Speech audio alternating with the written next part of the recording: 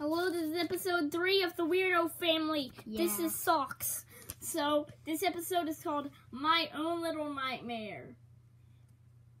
Action! Man, I wonder where everyone is. I don't know. What the heck? I wanna. I uh, what? Uh, uh, Hi, I am Socks.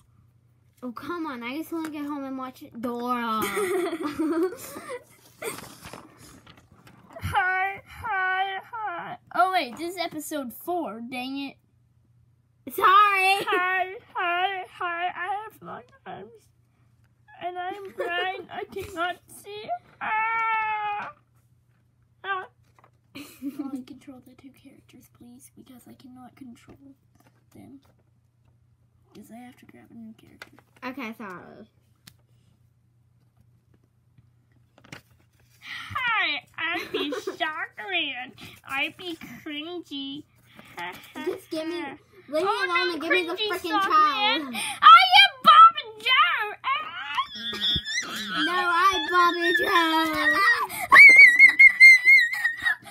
Joe. I am Socks and I live in a suitcase. Bye.